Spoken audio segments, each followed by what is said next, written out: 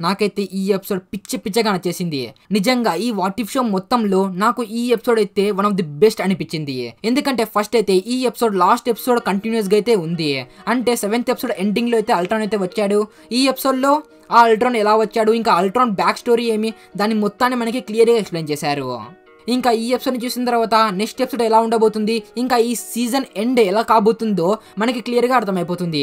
ఇంకా దానితో పాటు ఈ ఎపిసోడ్లో చాలానే ఫన్నీ మూమెంట్స్ ఉన్నాయి ఇంకా దానితో పాటే కొన్ని సీరియస్ మూమెంట్స్ కూడా ఉన్నాయి. ఇంకా అందులోనే ఈ ఎపిసోడ్లో వాచర్ తనలో తాను ఇచ్చుకుంటున్న సోది కూడా తనకే తలకాయ నొప్పిగా మారుతుంది.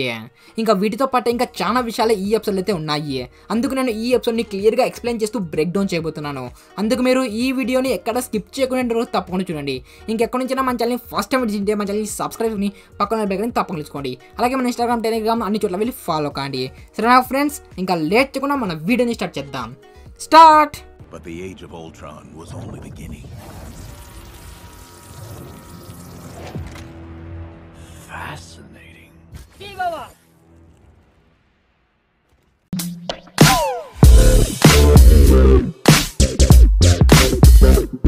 ఈ ఎపిసోడ్ స్టార్ట్ కాగానే మనం బ్లాక్ విడోని అయితే మనం చూస్తాం. అక్కడ బ్లాక్ విడో అల్ట్రాన్ సంబంధించిన రోబోట్స్ తప్పించుకుని పారిపోతూ ఉంటుంది. ఇంకా పారిపోవడంలో అయితే హౌకై తనకి హెల్ప్ చేస్తూ ఉంటాడు. కానీ నేను ఎప్పుడైతే హౌకాయ్ని చూశానో నేనైతే షాక్ అయిపోయాను. ఎందుకంటే ఇక్కడ హౌకాయ్ పూర్తిగా మారిపోయాడు. ఐ మీన్ ఇక్కడ హౌకాయ్కి సంబంధించిన బాడీ పార్ట్స్ అనేవి కొన్ని రోబోటిక్ ఆర్మ్స్ లాగా అయితే మారిపోయాయి. దీనికి కారణం బహుశా ఇక్కడ ఇలా జరిగి ఉండవచ్చు? ఇక్కడ హౌకాయ్ అల్ట్రాన్కి ఎదిరిల్లి ఉండవచ్చు. ఇంకా అల్ట్రాన్ తన బాణాన్ని తీసుకొని హౌకాయ్ చేతులు కాళ్ళు నరికేసి ఉండవచ్చు. ఇంకా దాని తర్వాత ఇంకప్పుడు హోప్ లేకున్న హౌకాయ్కి బ్లాక్ విడో వచ్చి ధైర్యం చెప్పి తనకి ఈ రోబోటిక్ ఈ రోబోటిక్ ఆర్మ్స్ ఇచ్చి ఉండవచ్చు. అందుకనే ఇక్కడ హోకాయ్ పార్ట్స్ అనేవి రోబోటిక్ లాగైతే ఉండవచ్చు. ఇంకా ఇక్కడ హౌకాయ్ అయితే చాలా పవర్ఫుల్గా అయితే మనకి ఇక్కడ చూపించారు. ఇంకా ఇక్కడ హౌకాయ్ దగ్గర హ్యారీ పోటర్ దగ్గర ఉన్న ఇన్విజిబుల్ క్లాత్ కూడా అతని దగ్గర ఉంది. ఇక్కడ మీరు అనుకోకండి హౌకాయ్ వచ్చి హ్యారీ పోటర్ దగ్గర ఉన్న యూనివర్స్కి వెళ్ళి ఇంకా అక్కడ నుండి ఇన్విజిబుల్ క్లాత్ని తీసుకుని వచ్చాడు అని. ఇలా అయితే కాదు. మీకు గుర్తే ఉంటుంది షీల్డ్ హెలికారియర్ కూడా ఈ విధంగానే ఆకాశంలో ఎగరగానే మాయమైపోగలదు. దానికి సంబంధించిన టెక్నాలజీనే ఇక్కడ కూడా అతను యూస్ చేస్తూ ఉండవచ్చు. ఇంకా ఇలాంటి సేమ్ టెక్నాలజీని మనం ఏజెంట్ ఆఫ్ షీల్డ్ షోలో కూడా చూసాం అక్కడ ఒక అంబ్రెల్లా టైప్లో అయితే ఈ ఇన్విజిబుల్ క్లాత్ అయితే ఉంది. ఇంకా వీళ్ళిద్దరు కలిసి అల్ట్రాన్ సంబంధించిన రోబోట్స్ని నాశనం చేస్తూ ఉంటారు. ఇంకా మరో సైడ్లో వాచర్ ఈ యూనివర్స్లో జరిగింది మొత్తం ఎక్స్ప్లెయిన్ చేస్తూ ఉంటాడు. ఈ యూనివర్స్లో అసలు ఏం జరిగిందో అని. ఈ యూనివర్స్లో అయితే అల్ట్రాన్ విజన్ బాడీలోకి సక్సెస్ఫుల్గా అయితే దూరిపోయాడు. ఇక్కడ మీరు ఇది ఆలోచించకండి ఇక్కడ ఎలా అల్ట్రాన్ విజన్ బాడీలోకి దూరాడు అని. ఇక్కడ బహుశా అల్ట్రాన్ని వాంటా వచ్చి ఆపకపోయి ఉండవచ్చు. అందుకు ఇక్కడ అల్ట్రాన్ విజన్ బాడీ విజన్ బాడీలోకి తనను తాను డౌన్లోడింగ్ అయితే చేసేసాడు ఇంకా అల్ట్రాన్ విజన్ బాడీ అయితే దొరికేసింది. ఇంకా విజన్ బాడీతో పాటు మైండ్ స్టోన్ కూడా దొరికేసింది. ఇంకా దాని తర్వాత అల్ట్రాన్ చాలా అంటే చాలా పవర్ఫుల్ అయితే అయిపోయాడు. ఇంకా దాని తర్వాత ఏముంది? అల్ట్రాన్ అనుకున్నట్టుగానే శాంతిని కాపాడడం కోసం అతను మొత్తం ప్రపంచాన్ని నాశనం చేసేస్తాడు. ఇక్కడ శాంతి అంటే పేరు కాదు పీస్ అని అర్థం. ఇంకా అతను అర్త్ మొత్తాన్ని నాశనం చేయడానికి ఇంకా శాంతిని నిలబెట్టడానికి ఈ అర్త్ మీద ఉన్న అన్ని న్యూక్లియర్ మిసైల్స్ యాక్టివేట్ చేసేస్తాడు. మొత్తం అర్త్ మీద అటాక్ చేసేస్తాడు. ఇంకా దీనిని ఆపడానికి వచ్చిన హీరోస్ అందరినీ కూడా చంపేస్తాడు. ఇక్కడ నాకైతే అర్థం కాలేదు ఈ ఎపిసోడ్లో కూడా ఐరన్ మ్యాన్ని చంపేశారు. ఈ వాటిఫ్ షోలో ఐరన్ మ్యాన్ చనిపోవడం ఇది ఫోర్త్ టైం నాకైతే నిజంగా ఇలానే అనిపించింది. మరో స్టూడియోస్ వాళ్ళు ఈ విధంగా అయితే అనుకుని ఉంటారు. వాటిఫ్ షోలో ఐరన్ మ్యాన్ని బతికిస్తాం మళ్ళీ చంపేస్తాం. బతికిస్తాం మళ్ళీ చంపేస్తాం. ప్రతి యూనివర్స్లో చనిపోవడమే ఉంటుంది కానీ ఎక్కడ బతకడం అనేది ఉండదు అని. చూడండి మళ్ళీ ఐరన్ మ్యాన్ ఇంత రంగా చంపేస్తే నాకైతే నచ్చలేదు ఇది. కానీ అల్ట్రాన్ చేసిన అటాక్లో టూ మెంబర్స్ అయితే బతికిపోయారు. వారే హౌకాయ్ అండ్ బ్లాక్ విడో. వీళ్ళిద్దరు అర్త్ మీద న్యూక్లియర్ అటాక్ జరిగేటప్పుడు వాళ్ళు ఆకాశంలో అయితే ఉన్నారు. కాబట్టి వీళ్ళిద్దరు బతికిపోయారు. ఇంకా దాని తర్వాత అల్ట్రాన్ అర్త్ మొత్తాన్ని నాశనం చేసి కొంచెం ఆలోచిస్తూ ఉంటాడు. ఇంకప్పుడే మన థానోస్ మామ్ అయితే ఎంటర్ అవుతాడు. ఇంకా దాని తర్వాత వీళ్ళిద్దరి మధ్యలో ఒక మంచి కాన్వర్సేషన్ జరుగుతుంది అనుకుంటాను. కానీ అప్పుడే అల్ట్రాన్ థానోస్ దగ్గర ఉన్న ఇన్ఫినిటీ స్టోన్స్ని చూసి థానోస్ని మైండ్ స్టోన్ యూస్ చేసి సగానికి చీర్చేస్తాడు ఏమీ ఆలోచించడు. నాకైతే ఇలా అనిపించింది ఈ ఎపిసోడ్ ఈ సీన్లో వీళ్ళిద్దరి మధ్యలో మంచి కాన్వర్సేషన్ జరుగుతుంది అని. కానీ ఇలా అయితే జరగలేదు. ఇక్కడ విజన్ ఏం ఆలోచించకుండానే థానోస్ని మధ్యలోకి చీర్చేశాడు ఇంకా ఈ సీన్లో అయితే ఇంకా చాలా డ్రాబ్యాక్స్ అయితే ఉన్నాయి. అవి ఏమిటంటే ఇక్కడ థానోస్ మధ్యలోకి చీల్చినప్పుడు అసలు నాకు అర్థం కాలేదు థానోస్ బాడీలో రక్తం ఉందో లేదో అని. ఎందుకంటే అతను చీర్చగానే అది మధ్యలోకి చీల్చేసాడు ఇంకా అందులో నుంచి రక్తం రాదు ఏమీ రాదు. ఆ బాడీలో నుంచి రక్తం రాదు ఏమీ రాదు. ఒక జెల్లీ టైప్లో అయితే మనకి కనబడుతుంది. ఇది మొత్తం పీ థర్టీన్ మహిమ. ఇదే షో ఆర్ రేటెడ్గా ఉండింటే నిజంగా. మరోసారి చెప్తున్నాను నిజంగా మజా వచ్చేసింది అనుకోండి. కానీ ఇది ఆరేటట్లే లేదు. ఇది పీజీ థర్టీన్లో ఉంది కాబట్టి ఈ విధంగా అయితే చూపించారు. ఇంకా దీనితో పాటు ఈ సీన్లో మంచి బ్యాటల్ కూడా జరిగేది. ఎందుకంటే థానోస్ దగ్గర ఇన్ఫినిటీ స్టోన్స్ ఉన్నాయి. ఇంకా విజన్ దగ్గర ఒకే ఇన్ఫినిటీ స్టోన్ ఉంది. ఇంకా వీళ్ళ మధ్యలో ఒక మంచి బ్యాటల్ కూడా జరిగేది. కానీ ఇక్కడ మరో వాళ్ళు ఈజీ వేలో అయితే తప్పించుకొని వెళ్ళిపోయారు. విజన్ని ఈ విధంగా చూపించి. ఇంకా ఆల్రౌండ్ థానాస్ని చంపేసిన తర్వాత ఆ ఇన్ఫినిటీ స్టోన్స్ని అనలైజ్ చేయడం స్టార్ట్ చేస్తాడు. ఇంకా అతను అనలైజ్ చేసిన తర్వాత అతనికి ఈ విషయం అయితే తెలుస్తుంది ఇవే చాలా పవర్ఫుల్ అని. ఇంకా అతను ఆ ఇన్ఫినిటీ స్టోన్స్ అనేది తీసేసుకుంటాడు. ఇక్కడ మీ బ్రెయిన్లో తప్పకుండా ఈ క్వశ్చన్ అయితే వచ్చి ఉంటుంది. ఇక్కడ విజన్ బాడీ అయితే వైబ్రేనియంతో తయారైంది కదా.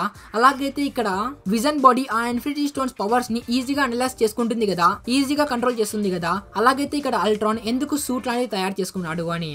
దీనికి సింపుల్ ఆన్సర్ ఏమిటంటే దాని పవర్ని హ్యాండిల్ చేయడానికి. ఇక్కడ విజన్ బాడీలోకి డైరెక్ట్గా ఆ ఇన్ఫినిటీ స్టోన్స్ వెళ్ళిపోతే ఆ పవర్స్ని అతను సరిగ్గా యూస్ చేయలేడు. కాబట్టి ఆ సూట్ అయితే వేసుకున్నాడు. ఇక్కడ ఆ సూట్ ఒక కాంట్రాక్ట్ లాగైతే పనిచేస్తుంది. ఇంకా దీని తర్వాత ఏముంది? అల్ట్రాన్ పవర్స్ని యూస్ చేసి అలాంటి రోబోట్స్ని తయారు చేసేసుకుంటాడు. ఇంకా దాని తర్వాత ఒక షిప్ని రెడీ చేసి మొత్తం యూనివర్స్ని నాశనం చేయడానికి వెళ్ళిపోతాడు. అతను ఫస్ట్ అయితే ఇంకా సోవరెన్కి వెళ్తాడు. అక్కడ గార్డియన్స్ ఆఫ్ ది గ్యాలక్సీ ఆ మాన్స్టర్తో అయితే ఫైట్ చేస్తూ ఉంటారు. ఇంకా అక్కడికి వెళ్తాడు. ఆ ప్లానెట్ మొత్తాన్ని అంతం చేసేస్తాడు.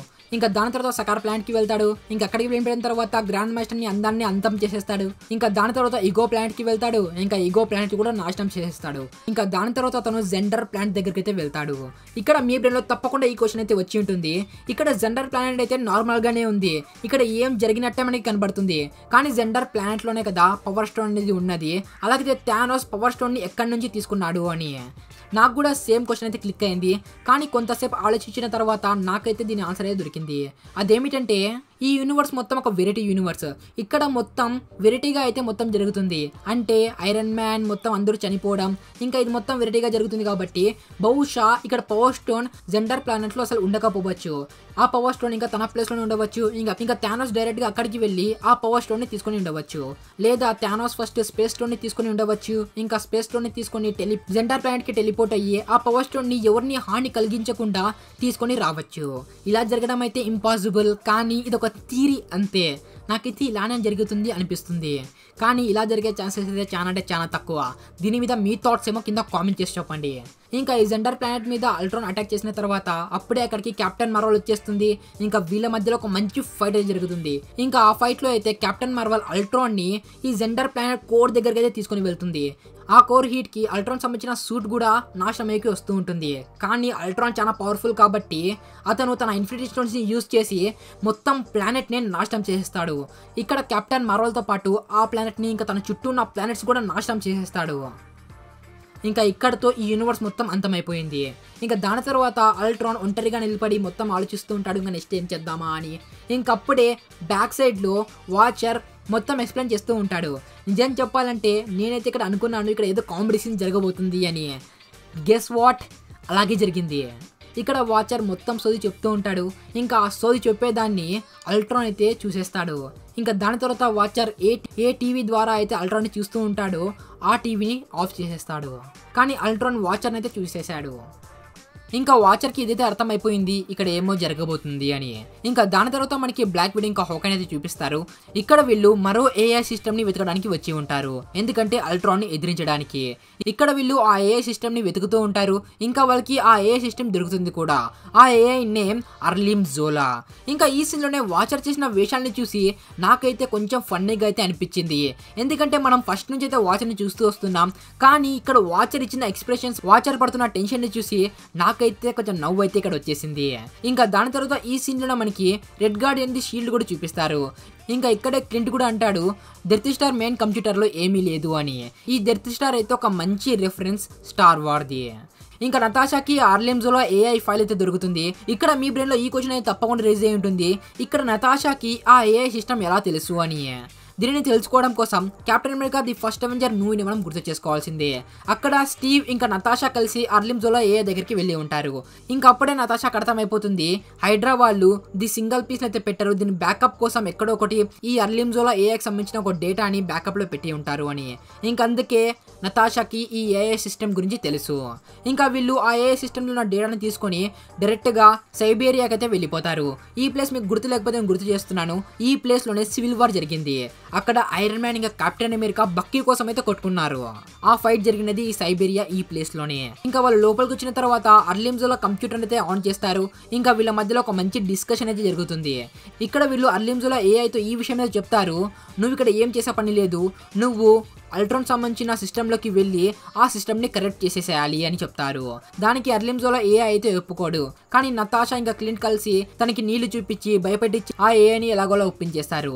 ఇంకా వీళ్ళు దీనిని ఇంప్లిమెంట్ చేయడానికి అల్ట్రాన్ సంబంధించిన రోబోట్స్ అయితే పిలిపిస్తారు. ఇంకా దాని తర్వాత ఒక రోబోట్లోకి సక్సెస్ఫుల్గా ఆ ఏఐని పంపించేస్తారు. ఇంకా దాని తర్వాత మిగిలిన రోబోట్స్తో మంచి ఫైట్ అయితే జరుగుతుంది. ఆ ఫైట్లో మన క్లింట్ అంటే హౌ- హౌకా అయితే తనను తాను సాక్రిఫైస్ అయితే చేసేస్తాడు.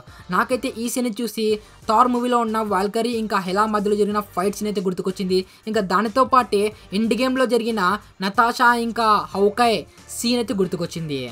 ఇంకా దాని తర్వాత అక్కడ నుండి అర్లింజోలా ఏఐ ఇంకా నతాషా అయితే అక్కడ నుంచి బయట బయటపడతారు. ఇంకా దాని తర్వాత అర్లింజోలా ఏఐ అల్ట్రాన్ని వెతకడానికి ట్రై అయితే చేస్తాడు. కానీ అల్ట్రాన్ అర్లింజోలాకి ఎక్కడ దొరకడు. ఆ అర్లింజోలో ఏఐ నతాషాకి ఈ విషయం అయితే చెప్తాడు.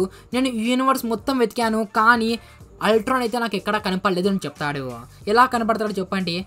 అల్ట్రాన్ టైం లైన్స్ మధ్యలో వాచర్తో అయితే ఫైట్ అయితే చేస్తున్నాడు. అది కూడా నార్మల్ లాంటి ఫైట్ అయితే కాదు. ఒక ఎపిక్ లెవెల్లో ఫైట్ అయితే వీళ్ళ మధ్యలో జరుగుతుంది. ఆ ఫైట్లో వీళ్ళు రియాలిటీస్ రియాలిటీస్ని బ్రేక్ చేసేస్తున్నారు. కానీ ఈ ఫైట్ సీన్స్లోనే ఒక రియాలిటీ అయితే చాలా ఇంట్రెస్టింగ్గా అనిపించింది. ఇక్కడ వాచర్ ఈ రియాలిటీలోకి అయితే వచ్చి పడతాడు. ఇక్కడ మనం పార్టీతోర్ ఎపిసోడ్లో కనబడిన కొంతమందిని కూడా ఇక్కడ మనం చూడవచ్చు. ఇంకా ఇక్కడ అల్ట్రాన్ వాచర్ని కొట్టేటప్పుడు మొత్తం యూనివర్సెస్ చేంజ్ అవుతూ ఉంటాయి. ఐ మీన్ రియాలిటీసే మొత్తం చేంజ్ అవుతూ ఉంటాయి. ఒకసారి స్కల్ సంబంధించిన రియాలిటీ కనబడుతుంది.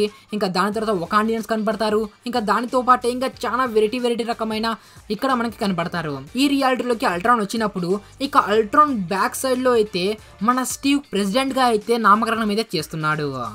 ఇంకా ఇక్కడ స్టీవ్ వచ్చి ప్రెసిడెంట్గా నిలబడుతున్నాడు కాబట్టి అందుకు మనం కామిక్ బుక్స్ పేజ్ని తిప్పాల్సిందే.